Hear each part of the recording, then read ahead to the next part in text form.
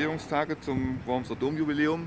Ein Virtual Reality Projekt, bei dem jeder Besucher die Möglichkeit haben soll, zwischen diesen beiden Türmen dort oben auf einem Holzbalken quasi schwebend auf einer Plattform die Möglichkeit zu haben, das mit einer VR-Brille erleben zu können, den Blick über Worms auch nach unten zu schauen, quasi aufs Dach des Doms und dann drüber hinaus.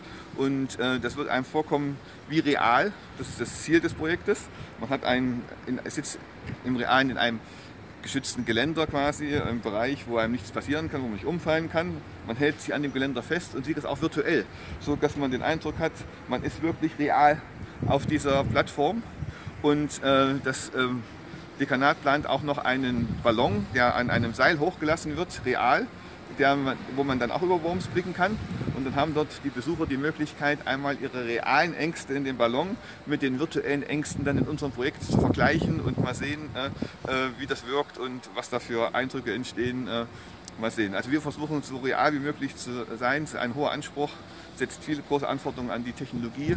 Ähm, es wird äh, sehr viel jetzt Richtung Weihnachten zum Thema Virtual Reality in den äh, Warenhäusern und äh, äh im Internet äh, Neues geben.